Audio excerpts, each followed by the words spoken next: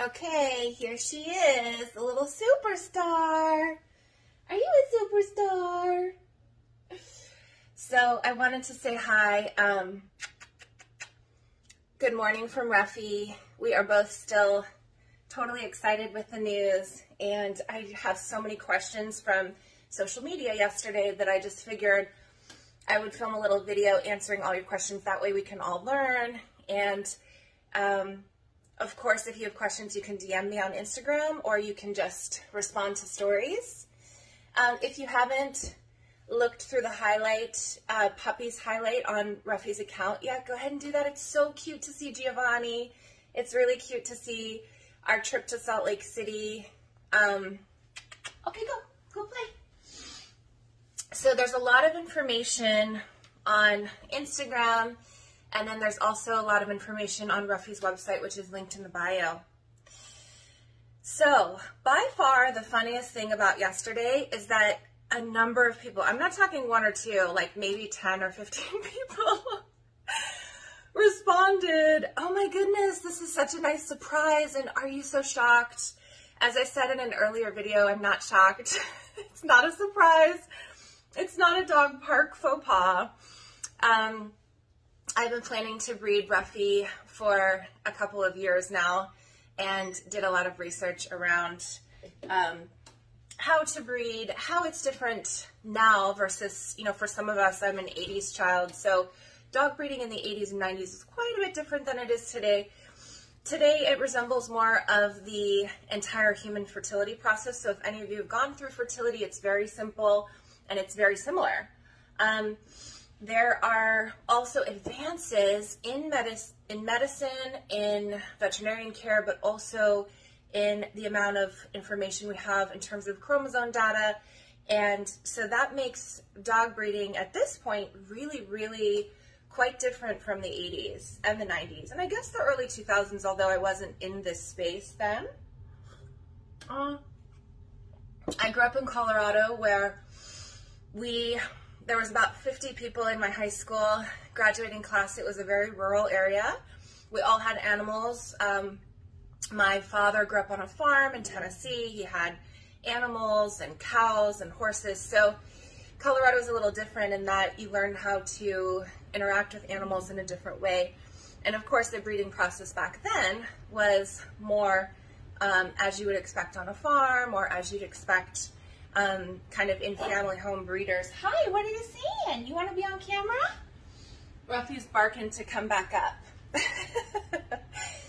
so this process was really different.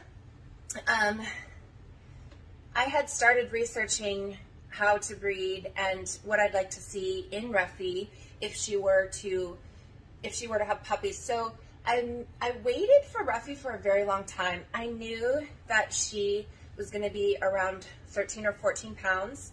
I wanted to be able to travel with her. I wanted to be able to take her on the plane, which means under 15 pounds, and you can put her right on the plane and in the seat in front of you. And she travels so well. We just have our little carrier for her. Oh, was that a kiss? Did you give me a kiss? so that was the first thing, and I waited a very long time to find the correct breeder. And then once that was put into place, I made sure Ruffie had the correct size, the correct fur, temperament. She has a golden retriever temperament. Um, if you can see, her fur is non-shedding and fairly straight. I also really wanted this color. So from what I have learned, if anyone out there is a veterinarian who has information, otherwise please um, please respond. However, from what I've learned, there's a poodle gene where the the fur of the dog becomes lighter and blonder as time goes on. And oftentimes in the past, we didn't know how to isolate this gene. I chose Ruffie because of this particular um, gene. So she started off a very, very apricot rusty color, which I think you can, I think you can see even darker than this. And then as time has gone on, she's gotten really quite light. At this point, you can see she's actually like a blonde brown. There's some other photos in the feed where you can really see zoomed in on her fur and see what it looks like. so Ruffie was very apricot rusty when she was born, and then over the last two years, she's turned into this brown blonde, kind of like that classic color, like a brown melange. And the other thing I wanted to find, but also needed to find with Ruff, is hypoallergenic. So I have autoimmune, and I needed a dog that was non-shedding, and also I needed a dog that I wasn't going to react to because if anyone knows anything about autoimmune, you know that you react to basically everything in the home. So it was very important to me to find Ruff, her size, her fur, the color orientation, the, the waviness, the straightness, the color of her eyes, um, the extent to which her fur would be triggering for me in terms of autoimmune. Now, that's a very big discussion in the dog breeding world. Um, one thing I've noticed is that people talk about F1B and people talk more about lineage in terms of the extent to which the dog is going to be hypoallergenic. All dogs are going to shed, but there's a lot of information online about what order and how many times the dogs have been bred from either a doodle, a doodle with a doodle, a poodle and a retriever. Um, so there's differences in terms of the extent to which they're going to be hypoallergenic the further down on the line of ancestry that you go.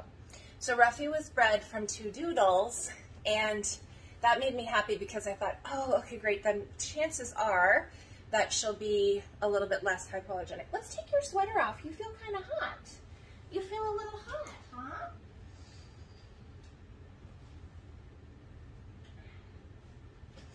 So those are the reasons that I chose Ruffie. Um, I love to travel. I travel for a lot of the year. She comes with me.